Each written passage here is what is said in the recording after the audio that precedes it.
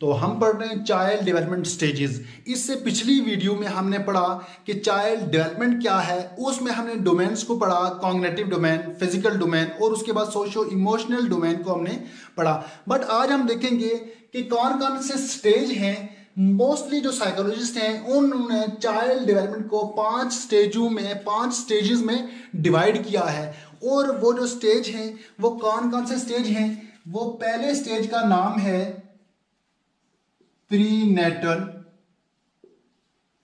Prenatal ये development की जो इसमें सबसे इंटरेस्टिंग बात ये है कि जो डेवलपमेंट है, वो किसी बंदे की, किसी बच्चे की, वो पैदाइश से पहले स्टार्ट हो जाती है।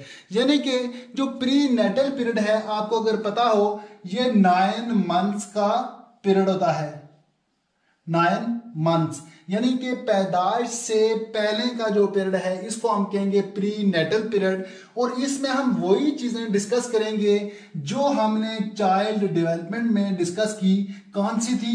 वो सबसे पहले हमने डिस्कस किया फ़िज़िकल फ़िज़िकल ग्रोथ ग्रोथ या फ़िज़िकल डेवलपमेंट अब फ़िज़िकल डेवलपमेंट जो प्री नेटल पीरियड है, इसमें सबसे हाई रहती है। इसको हम कह सकते हैं कि ये हाईएस्ट है। इस पीरियड में जो बच्चे की डेवलपमेंट है फ़िज़िकल डेवलपमेंट या फिर फ़िज़िकल ग्रोथ है, वो हाईएस्ट रहती है। कैसे?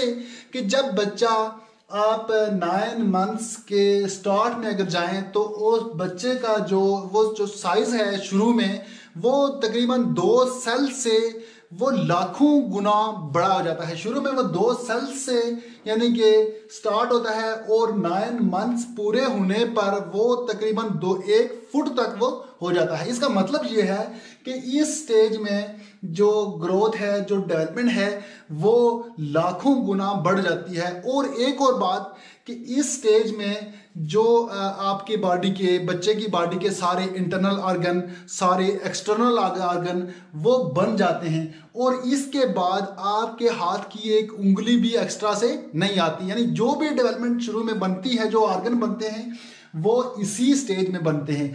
अब इसके बाद हमने जो डेवलपमेंट में एक और चीज़ पढ़ी थी वो कॉग्नेटिव हमने डेवलपमेंट पढ़ी थी। और इस स्टेज में भी हम देखेंगे कि कॉग्नेटिव डेवलपमेंट इस स्टेज में किस तरह से होती है। फ़िज़िकल तो बहुत हाई है और उसके बाद देखते हैं कि सोशो इमोशनल डेवलपमेंट क्या है।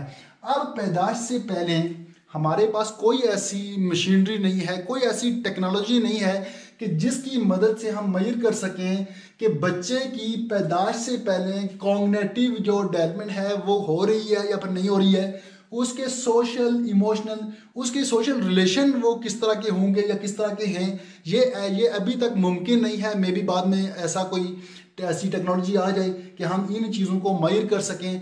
बट अभी तक हम सिर्फ़ इतना कह सकते हैं कि हमें कुछ पता नहीं। इन दानों के बारे में हम कह सकते हैं, सिर्फ़ इतना कह सकते हैं, वी डोंट नो। हमें कुछ पता नहीं। फ़िज़िकल डेवलपमेंट की हमने बात की कि वो सबसे हाई रहती है, वो हाईएस्ट है। इसके बाद जो दूसरा स्टेज है, दूसरा स्टेज है इनफेंसी। इनफेंसी ये लगभग ज़ीरो टू टू इयर्स का स्टेज है और इसका एक और नाम है टॉय एज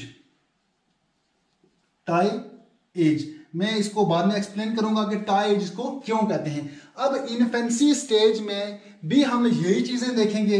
हम देखेंगे कि फ़िज़िकल डेवलपमेंट इसकी किस तरह से हो रही है और उसके बाद कॉग्नेटिव इसकी थिंकिंग डेवलपमेंट uh, किस तरह से हो रही है? सोशो इमोशनल डेवलपमेंट किस तरह से हो रही है? तो फ़िज़िकल डेवलपमेंट की अगर बात करें तो प्री नेटल के मुकाबले में जो इसकी इस स्टेज में फ़िज़िकल डेवलपमेंट है वो थोड़ी सी कम होगी। कम होगी क्यों? कि यहाँ आपका जो साइज़ था एक पेन के नोक से बढ़कर एक फुट तक हो गया यानी लाखों गुना बढ़ गया। जब आप पैदा हुए ज़ीरो से टू ईयर के कुछ का जो अरसा है, यहाँ तकरीबन आप दो एक फुट से दो फुट हो गए या फिर डेढ़ फुट हो गए। इसका मतलब यह है कि यहाँ जो फ़िज़िकल डेवलपमेंट है, इसके मुकाबले में कम है। और अगर इसके बाद वाले स्टेजेस में देखी जाए तो अभी भी जो इन्फेंसी स्टेज है, इसमें फ़िज़िकल डेवलपमेंट बहुत हाई है। और उसके बाद अगर कॉग्नेटिव डेवलपमेंट को देखा जाए तो कॉग्नेटिव डेवलपमेंट भी बच्चे की इस स्टेज में हो रही होती है, उसकी थिंकिंग उसकी इमेज जो उसकी रीजनिंग एबिलिटी ये चीज़ें कुछ उसकी इम्प्रूव हो रही होती हैं।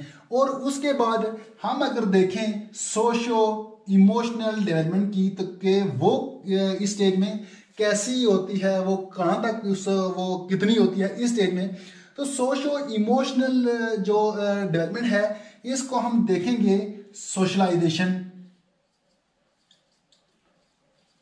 सोशलाइजेशन सोशलाइजेशन क्या है?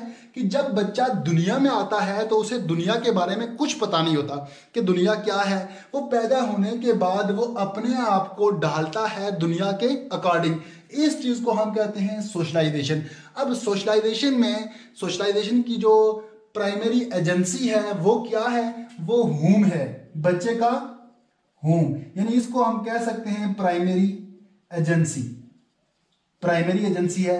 और होम में कौन लोग हैं? इसके होम प्राइमरी सोशलाइजेशन की की प्राइमरी एजेंसी होम और इस सोशलाइजेशन के एजेंट कौन से हैं? इसमें दो तरह के लोग ही होते हैं पेरेंट्स और सिबलिंग सिबलिंग्स पेरेंट्स यानी बच्चा ज़ीरो से दो साल का जो अरसा है, इसमें वो घर में ही रहता है, वो अपने पेरेंट्स से सीखता है, वो अपने बहन भाइयों से सीखता है। तो उस, इसका मतलब ये है कि वो जो उसकी प्राइमरी एजेंसी है सोशलाइजेशन की, वो होम है, यानी इन लोगों से वो होम से सीखता है। होम में कौन है लोग हैं? वो होम में जो सोशलाइजेशन के एजेंट हैं, वो उसके पेरेंट्स हैं, उसके बहन भाई हैं। और उसके माँ बाप हैं तो इन लोगों से वो सीखता है। अब ज़ीरो से जो टू ईयर का अरसा है, इसमें बच्चा, यानी कि इस स्टेज को, इस स्टेज से अगर कंपेयर किया जाए तो इसमें एक जो सबसे बड़ा डिफरेंस है, वो ये है कि इसकी फ़िज़िकल डेवलपमेंट इसकी बहुत हाई है और इसकी बहुत इसके मुकाबले में बहुत कम है। बट इसके बाद वाले जो स्टेजेस आएँगे तो फ़िज़िकल डेवलपमेंट ये डाउन होती जाएगी, कम होती जाएगी और करते करते एक वक्त ऐसा आएगा कि फ़िज़िकल डेवलपमेंट रुक जाएगी बट कॉग्नेटिव जो डेवलपमेंट है, ये उम्र के साथ ही एज के साथ, ये बढ़ती रहेगी, ये बढ़ती रहेगी। अब इसके बाद जो तीसरा स्टेज है, उसको कहा जाता है early childhood early childhood अब इसमें मैं एक चीज़ भूल गया टॉयज टॉयज किसको कहते हैं कि जब बच्चा दो साल का होता है तो वो स्कूल नहीं जाता, वो खेलने के लिए बाहर नहीं जाता. वो या तो खिलौनों के साथ खेलता है या अपने माँ बाप के साथ खेलता है. वो घर में रहता है तो वो खिलौनों के साथ ही खेलता है. इसलिए इस जो इन्फेंसी स्टेज है, इसको हम टा एज भी कहते हैं. अब देखते हैं कि अर्ली चाइल्डहुड में क्या है. तो अर्ली चाइल्डहुड में भी हम इन्हीं तीनों चीज़ों को डिस्कस करेंगे. हम करेंगे फ़िज़िकल कॉग्नेटिव और उसके बाद सोशो इमोशनल है। और ये जो स्टेज है, ये इस, ये लगभग थ्री टू सिक्स ईयर्स की एज का स्टेज है। इसमें भी उसी तरह, जिस तरह हमने फ़िज़िकल डेवलपमेंट uh, uh, को हमने डिस्कस किया। फ़िज़िकल डेवलपमेंट इस स्टेज के मुकाबले में इसमें थोड़ी सी कम होगी उसके जो बाकी आने वाले स्टेज में कम होती जाएगी। जबकि जो कॉग्नेटिव डेवलपमेंट है बच्चे की वो नेक्स्ट हर एक स्टेज में हर एक नेक्स्ट आने वाले स्टेज में कॉग्नेटिव डेवलपमेंट वो ऊपर जाएगी, वो बढ़ती जाएगी एज के साथ साथ वो बढ़ती रहेगी।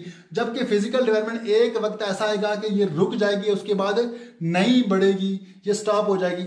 और यहाँ जो प्राइमरी एजेंसी थी, वो होम था, जबकि यहाँ क्या है? यहाँ स्कूल होगा। और स्कूल को हम कहेंगे मेन एजेंसी मेन एजेंसी इसलिए कहेंगे कि स्कूल का जो बच्चे के ऊपर असर पड़ेगा, वो उसकी आने वाली लाइफ पे बहुत ज़्यादा पड़ेगा। और यहाँ जो होम का असर पड़ता है, वो स्कूल में आने के बाद ये स्टॉप हो जाएगा, वो टेम्परेरी था, ये परमानेंट उसके ऊपर असर पड़ेगा। और इसमें एजेंट कौन से होंगे? सोशलाइजेशन की जो मेन एजेंसी है, वो स्कूल है। स्कूल है और इसके जो एजेंट हैं एक टीचर्स और पीयर्स पीयर्स यानी कि बच्चा जिनके साथ खेलता है, जिनके साथ रहता है, जिनके साथ पढ़ता है, उसके एज जो, उसकी सेम एज के बच्चे हैं, वो पीयर्स कहलाएँगे. यानी कि वो उसकी जो सोशलाइजेशन के एजेंट हैं और मेन जो एजेंसी है वो स्कूल है. और इसमें आपने देखा होगा कि बच्चा जब छोटे बच्चे स्कूल से वापस आते हैं, इस एज के बच्चे तो वापस आके वो हर एक टीचर्स की बात को ज़्यादा प्रायोरिटी देते हैं। जब घर पहुँचते हैं तो वालदेन उनको कहते हैं, उनके माँ बाप उनको कहते हैं, बेटा, ये काम इस तरह से नहीं करो ये काम इस तरह से किया जाता है। जबकि बच्चे वापस जवाब देते हैं, नहीं, पापा, हमने हमने, हमारे टीचर ने ये काम इस तरह से बताया है वो हम उनकी बात मानेंगे। तो टीचर को इस एज में बच्चे ज़्यादा प्रायोरिटी देते हैं, अपने जो छोटे बहन भाई हैं या दूसरे बड़े बहन भाई हैं, उनको प्रायोरिटी कम देते हैं, उनके मुकाबले में पीयर्स को प्रायोरिटी देते हैं। पेरेंट्स के जो पेरेंट्स के बजाय वो टीचर्स को, बहन भाई के मुकाबले में पीयर्स को वो प्रायोरिटी देते हैं। और इसके बाद इस स्टेज में जो लैंग्वेज है बच्चे की, वो डेवलप होती है बहुत तेज़ी से। तेज़ी से, और इसको हम कह सकते हैं कि हाईएस्ट रहती है लैंग्वेज डेवलपमेंट इसलिए हमें चाहिए कि इस एज में बच्चे को ऐसा मॉल प्रोवाइड किया जाए ताकि बच्चे की जो बेसिक स्किल्स हैं, उसकी कम्युनिकेशन स्किल है, वो अच्छी तरह से इंप्रूव हो जाए, क्योंकि इसका असर उसकी आने वाली लाइफ पे पड़ने वाला है। तो चौथे नंबर पे स्टेज आ रहा है, वो है मिडल और लेटर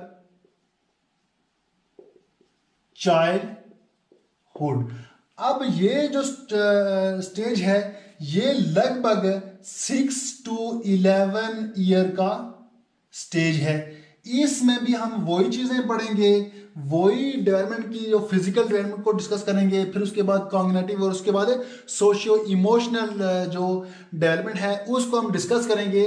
तो इसमें अगर देखें तो जो फ़िज़िकल डेवलपमेंट है, वो भी हो रही होती है और वो जो प्रीवियस स्टेज के मुकाबले में कम होगी फ़िज़िकल डेवलपमेंट जो हम पहले बता चुके हैं, मैं पहले बता चुका हूँ कि ये हर आने वाले स्टेज में उस बच्चे की फ़िज़िकल डेवलपमेंट ये कम होती जाएगी और करते करते आखिर पे एक ऐसा स्टेज आएगा जहाँ जाके ये फ़िज़िकल ग्रोथ या फिर फ़िज़िकल डेवलपमेंट रुक जाएगी। उसके बाद कॉग्नेटिव डेवलपमेंट भी बच्चे की हो रही होती है और ये प्रीवियस स्टेज के मुकाबले में ये ज़्यादा होगी। क्यों? कि एज बढ़ने के साथ बच्चे की जो कॉग्नेटिव डेवलपमेंट है, वो हमेशा बढ़ेगी। वो बढ़ती जाएगी बढ़ती जाएगी। वो डेथ तक वो बढ़ती ही जाएगी, जबकि फ़िज़िकल डेवलपमेंट ये एक वक्त के बाद ये रुक जाती है। अब उसके बाद हमने पढ़ना है socio emotional development social emotional development में हमने देखा है कि सोशलाइजेशन जो है बच्चे की सोशलाइजेशन प्रीवियस स्टेज की तरह इसमें भी जो इसकी मेन एजेंसी है वो स्कूल ही है। स्कूल ही है, यानी ये यहाँ भी इसकी मेन एजेंसी स्कूल है। स्कूल में कौन कौन लोग हैं, कौन इसके एजेंट हैं? एक तो इसके टीचर हैं टीचर्स और पियर्स पियर्स पियर्स यानी बच्चा जिनके साथ खेलता है, रहता है, पढ़ता है, उसकी जो एज जो सेम एज के बच्चे हैं, वो वो उसके पियर होंगे। यानी कि सोशलाइजेशन में बच्चे का, जो मेन एजेंसी है, वो स्कूल है और सोशलाइजेशन के मेन एजेंट कौन है? वो टीचर हैं और पियर हैं। प्रीवियस स्टेज में हमने देखा कि बच्चा हर एक बात टीचर की मान रहा था। घर आके अगर उसको वालदेन कुछ कहें कि, बेटा, ये काम इस तरह करना है तो बेटा, वो जो बच्चा है, वो वालदेन को कहेगा कि, नहीं, हमारे टीचर ने हमें इस तरह से बताया ये आप ठीक नहीं बता रहे बल्कि टीचर की बात वो मानता है टीचर को प्रायोरिटी देता है। बट जो ये वाला स्टेज है सिक्स टू इलेवन ईयर्स का जो स्टेज है, इसमें टीचर का रोल कम हो जाता है। और पीयर्स का रोल बढ़ जाता है। इसमें बच्चा दोस्त बनाना शुरू कर देता है बच्चा फ्रेंड्स बनाना शुरू कर देता है। जबकि बच्चा जो प्रीवियस स्टेज था जो अर्ली चाइल्डहुड था वहाँ भी फ्रेंड्स बना रहा था। बट जो वहाँ फ्रेंड्स बना रहा था वो परमानेंट नहीं थे वो टेम्परेरी थे। वो जब क्लास में जाता तो, तो वहाँ अगर 20 बच्चे हैं तो 20 के 20 ही उसके दोस्त जो वायर जब खेलने बच्चा अगर जाता है, जो अर्ली चाइल्डहुड में तो उसके, वो जितने भी लोग उसको मिलेंगे, जितने भी बच्चे मिलेंगे, वो सारे उसको दोस्त उसको, उनको मानेगा बट वो परमानेंट नहीं होंगे। जबकि जो ये वाला स्टेज है, इसमें सिक्स टू इलेवन ईयर्स का स्टेज यानी लेटर चाइल्डहुड में, बच्चा जो दोस्त बनाएगा, वो पूरी क्लास को नहीं बनाएगा, वो चंद लोगों को बनाएगा, वो चंद बच्चों को बनाएगा और उनको वो परमानेंट वो फ्रेंड बनाएगा, जबकि प्रीवियस में वो परमानेंट नहीं थे। अब जो पियर्स हैं, ये एक तो होंगे परमानेंट परमानेंट और सेम जेंडर के। सेम जेंडर यानी कि इससे पहले प्रीवियस स्टेज में, अर्ली चाइल्डहुड में जो बच्चा दोस्त बना रहा था, वो अगर फीमेल है या मेल है, उसे इससे कोई गर्ज नहीं, वो जो भी उसके जो उसे मिलेगा, वो उसका दोस्त होगा, वो उसे दोस्त मानेगा, वो टेम्परेरी भी होंगे। जबकि इस स्टेज में बच्चा अपने सेम जेंडर के जो बच्चे हैं, उनको ही दोस्त बनाएगा। अगर लड़की है तो वो लड़कियों को दोस्त बनाएगी। अगर वो लड़का है तो वो लड़कों को ही दोस्त बनाएगा और परमानेंट दोस्त बनाएगा। वो उनको दोस्त बनाएगा, वो पूरी क्लास को दोस्त नहीं बनाएगा। बल्कि अगर क्लास बीस की है तो उस बीस में से दो या तीन उसके फ्रेंड होंगे। ये इस जो लेटर या मिडल चाइल्डहुड है, इसमें ये सेम जेंडर होंगे, एक बात। और दूसरी वो परमानेंट फ्रेंड बनाएगा। इसके बाद वाला जो स्टेज है, उसको कहा जाता है अडोल्सन ए अडोल्सन अब अडोल्सन यानी ये आखिरी लास्ट स्टेज है चाइल्ड का। इसके बाद चाइल्ड चाइल्ड नहीं रहते, यानी उसके बाद वो अडल्ट कहलाएँगे। यानी इसका अगर देखा जाए तो ये 11 टू 17 इयर्स का स्टेज है। इसके बाद बच्चा बच्चा नहीं रहता, वो अडल्ट हो जाता है। अब इसमें हम अगर बात करें फ़िज़िकल डेवलपमेंट की तो फ़िज़िकल डेवलपमेंट इस स्टेज में जबकि हम पीछे पढ़ रहे थे कि ये डाउन होती जाएगी डाउन होती होती है वो नेक्स्ट स्टेज में डाउन होती है बट इस स्टेज में जो फ़िज़िकल डेवलपमेंट या फ़िज़िकल ग्रोथ है वो बहुत ही हाई हो जाती है।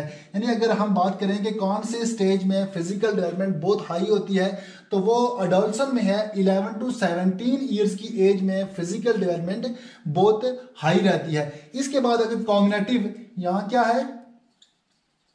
हाईएस्ट कॉग्नेटिव की बात करें तो कॉग्नेटिव डेवलपमेंट भी इस स्टेज में बहुत ही हाई रहती है 17 टू 11 टू 17 यानी ये हाईएस्ट रहती है। उसके बाद सोशियो इमोशनल जो डेवलपमेंट है सोशियो इमोशनल डेवलपमेंट इसमें इसकी अगर बात की जाए सोशियो इमोशनल की तो सोशियो इमोशनल सोशियो इमोशनल यानी इस एज में बच्चे इससे पहले वो टीचर्स से सीखते थे, वो पीयर से सीखते थे, वो पेरेंट्स से सीखते थे, वो अपने दोस्तों से सीखते थे। बट जो ये वाला स्टेज है, इस स्टेज में बच्चा जो कुछ भी सीखता है, वो अपने वो अप, अपने दोस्तों से सीखता है। इससे हट के वो किसी से भी नहीं सीखता। और इमोशन की बात की जाए तो इस एज में बच्चे बहुत जज्बाती होते हैं और उनका मूड आपने देखा होगा कि अक्सर वो बहुत ख़राब हो जाता है एकदम एकदम से ठीक हो जाता है। और इस एज में वो इमोशनल भी बहुत ज़्यादा होते हैं। यानी कि हम अगर अडोल्सन की बात करें तो अडोल्सन में फ़िज़िकल जो ग्रोथ या डेवलपमेंट है वो बच्चे की बहुत हाई रहती है। और उसके बाद कॉग्नेटिव जो उसकी डेवलपमेंट है, वो भी हाईएस्ट होती है। सोशियो सोशलाइजेशन की बात करें तो वो सिर्फ़ और सिर्फ़ अपने पीयर से सीखते हैं, अपने दोस्तों से सीखते हैं और उनके जो फ्रेंड्स हैं, वो उनका रबता अपने दोस्तों से बहुत गहरा रहता है और अपने दोस्तों की बात को बहुत बहुत ज़्यादा प्रायोरिटी देते हैं। ना वो पेरेंट्स की बात को प्रायोरिटी देते हैं, ना वो टीचर्स की बात को बात को प्रायोरिटी देते हैं, बल्कि वो अपने पीयर्स की बात को प्रायोरिटी देते हैं। उसके बाद इमोशनल की बात की जाए तो इस एज में बच्चे बहुत ज़्यादा इमोशनल होते हैं। वो जल्दी से उनका मूड ख़राब हो जाता है, वो जल्दी उनका मूड ठीक हो जाता है। ये था एडोल्सन और चाइल्ड डेवलपमेंट के पाँच स्टेजेस थे। इसको हमने डिस्कस कर लिया, इसको हमने पढ़ लिया है।